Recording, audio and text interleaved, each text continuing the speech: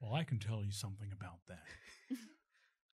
Before the beginning of time, beings full of malice and hatred were all that existed in a darkness vaster and more incomprehensible than our pitiful language can describe, concepts that would shatter the mind of a mortal to behold.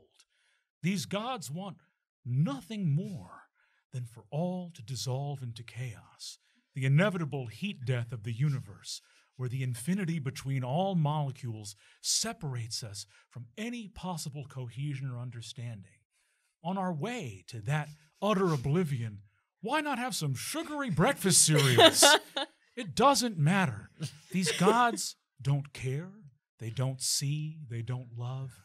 They're not good. They're great.